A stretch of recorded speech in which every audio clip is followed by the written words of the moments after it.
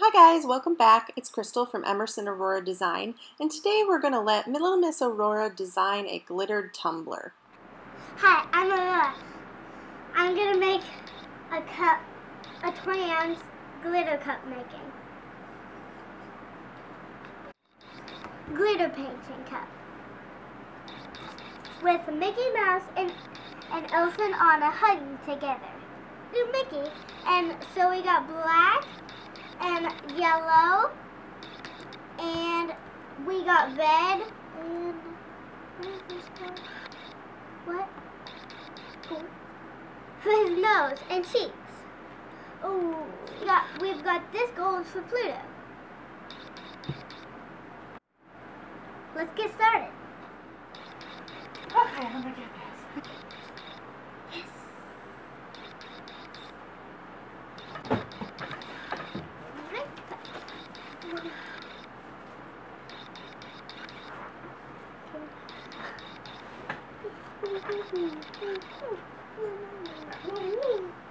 This catches the glitter. She's such a silly girl. Anyway, here we are. I'm going to go ahead and peel the, um, the pre-cut sticker, paper, backing, whatever you want to call it, up from the uh, tumbler designed for her, and I'm going to let her apply the glitter. Um, I'm just kind of giving her mild uh, prompts as to what to do and how to do it. And she really loves doing these projects with me. She She's just so much fun to design a tumbler with, and I really enjoy this time I have with her. This image was cut from my cat scratch double-sided adhesive tape that I have used in other tumbler videos. I will link those in the description box below or at the end of the video. But here I am just showing her what to do and how to actually place the glitter down by using her finger to rub that glitter down. I like to use fine or ultra fine glitters. It tends to work better for this type of design. Um, using chunkier glitters, you may not get a full coverage. As you can see, she is super excited.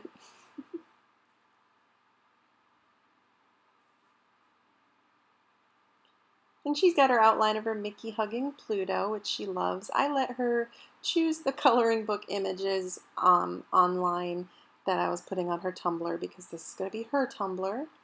And she chose Mickey hugging Pluto and then an image of Anna and Elsa from Frozen.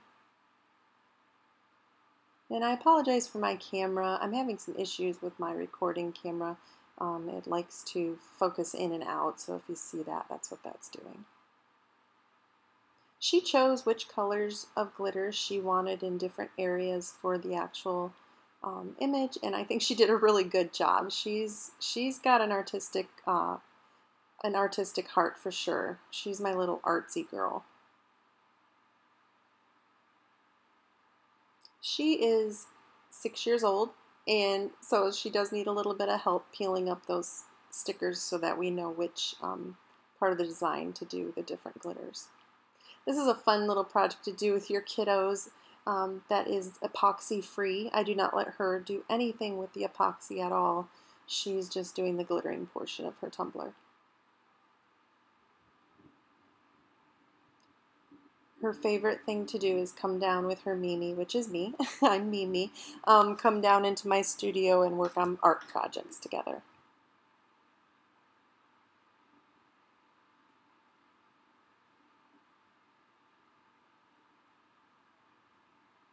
And she's showing me where she wants the color. She's pointing out here.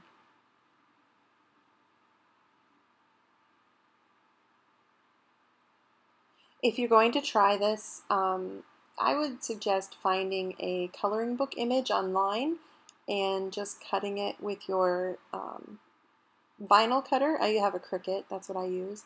I just made a square in my Cricut design space of the dimensions of my tumbler, which I believe my 20 ounce tumbler is a 9.25 by 8.1.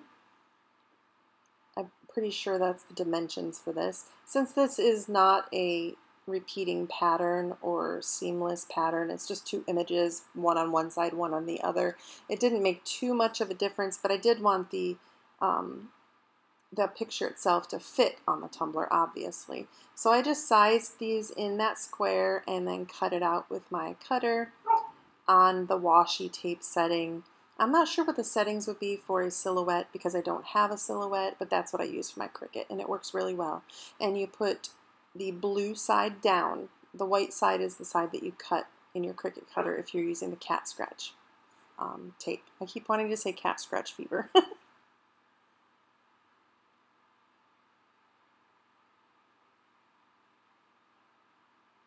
This does get a little messy, but messy with glitter is always a fun thing for me. Just keep the broom handy. Now I'm going to do my Elsa and Anna. We're using this color for, for Elsa's hair. We're using these two colors for Elsa's dress. This color um for Anna's um a shawl, and this color for Anna's shawl, and this color for Anna's hair. Let's get started. So for the Anna and Elsa design, um, it is a little bit more intricate than the Mickey one. So I just, I kind of fast forward through some of this because you don't want to watch me pick off the backing um, from this the whole video. Anyway, I'm going to peel this up. So I always do the background first. I try to outline in a darker color so that you have a nice image to color in. Essentially, I'm coloring with glitter. Um, you want to start with your light or darkest colors first and then move you know, through the color spectrum to your lightest colors last because you don't want to contaminate your light colors with a dark color. So I always start with my outline like we're doing here so we can have a good um, a good guide to where to put the other colors. Only peel up your outline and then rub your, your um, glitters in so you can see your image. And I'm just directing her not to spread that glitter into her other picture so that we don't contaminate Mickey and Pluto. And there's Anna and Elsa. That's the image she wants, and it's just easier to see it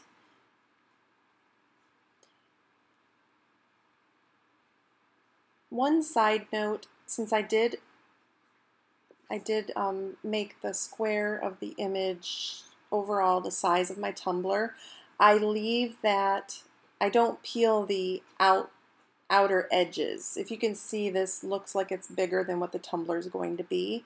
That is important because you don't want that glitter to stick to the edges, the outer edge rim of the square. I don't know if I'm making any sense, you guys. Um, essentially we are going to peel that off at the end because I don't want the black to kind of stick on that and create a um, a shadow. I don't know if I'm this is making any sense. I apologize, but hopefully you'll be able to tell as we go along. So here she's doing Anna Anna's hair. I'm just directing her to use one little finger to rub that glitter in so that we're not making a giant mess with our glitter. And she is doing such a good job. She's having the time of her life, as you can see with that big grin on her face. Fine glitters work so well on these. Um, they are so much fun. And you can really, the sky's the limit with what you can do with this double-sided tape. I love it so much. It is so much fun. It is therapeutic. and it's messy and wonderful. And I just love it. I hope you guys give this a try because it is fun to do with your kids or, you know, someone that maybe doesn't want to work with epoxy and just kind of let their creativity flow.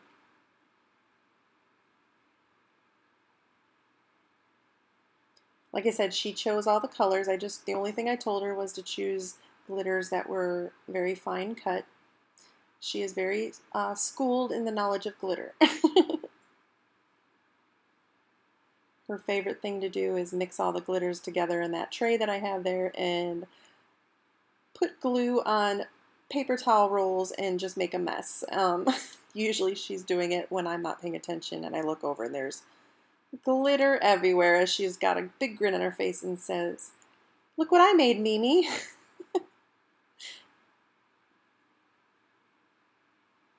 and I'm just speeding this up to watch her process. As you can see, Anna's shawl is kind of more intricate than anything else. She's doing such a good job.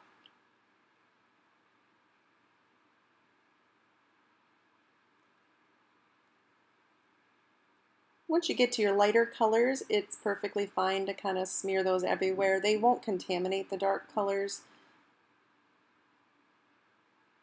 The dark colors will contaminate your light colors though. So Anna's hair, or uh, Elsa's hair is going to be last because her hair is almost white. Reminding her to use just two fingers.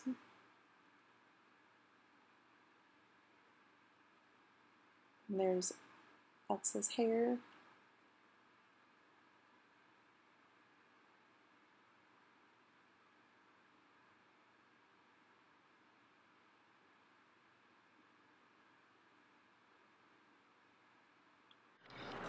Alright, so this is what we're going to do.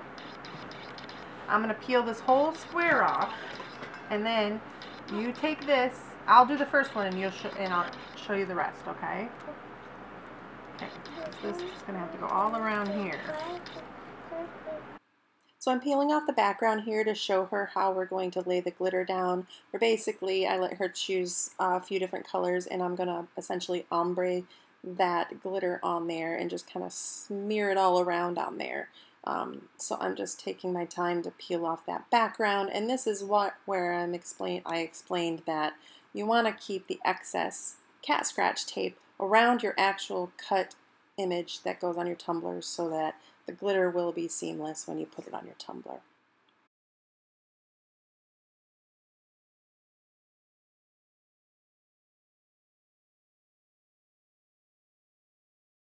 And you could see little Aurora there with ants in her pants in the background. She just can't wait to get her hands back on that glitter again.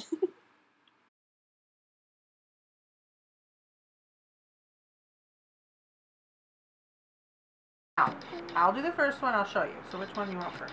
Actually, no. I want the road. Rose gold. Okay. Put that up there, please. So, you're just going to take this and you're going to do lines. So you're going to kind of do this. Okay, now the next one you're going to do right here.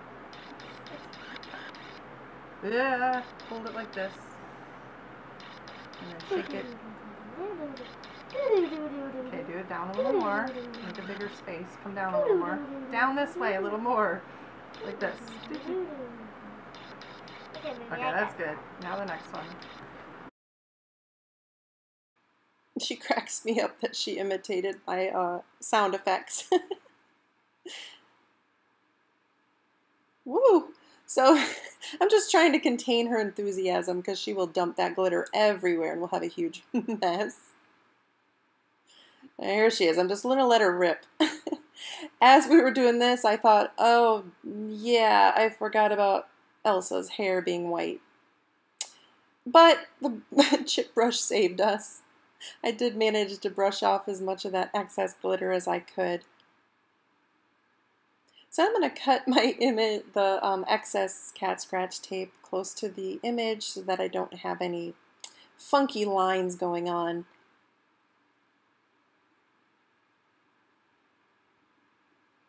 This is clear double-sided adhesive. That's the way it comes in. I'm gonna. I think I leave, I guess, um, one side on the horizontal um, a little bit extra of the cat scratch. Then I end up cutting it off, I believe. This will match up seamlessly, as you can see here. So I decide to cut those two sides off completely. This has been trial and error for me. I've been trying to perfect my technique. but like I said, it is pretty simple if you get your measurements right for your tumbler.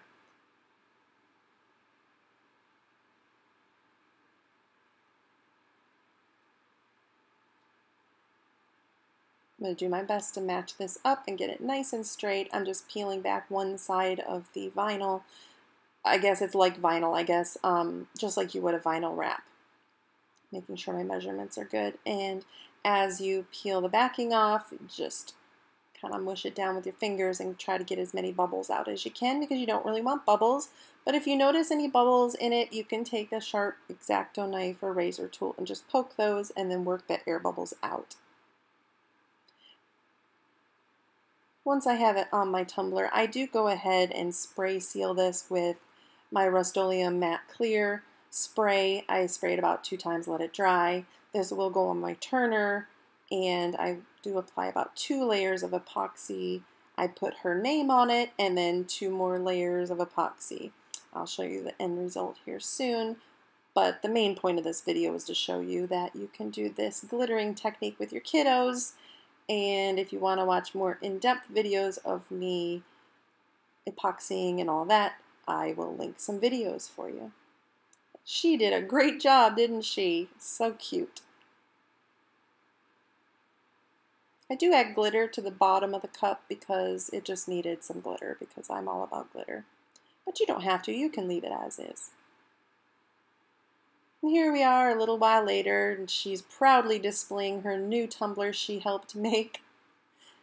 I put Aurora Rose on there for her in pretty holographic vinyl, and she loves her new tumbler. I hope you guys enjoyed this video with a little bit of uh, sweetness of my little Miss Aurora helping me with this tumbler. And I hope you give this a try because this is a fun little project for kids to do on a rainy day let them choose a little coloring book design and make a cup for themselves. How do you how much do you love that gap tooth smile?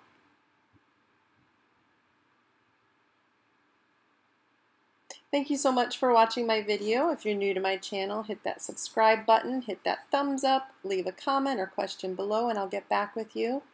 Here's a close-up of the finished product. I think it turned out really nice.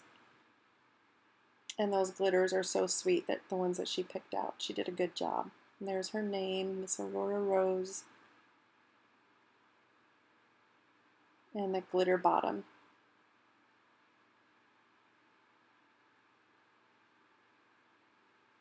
Happy crafting, everyone. I hope you have a beautiful, beautiful day. Till next time.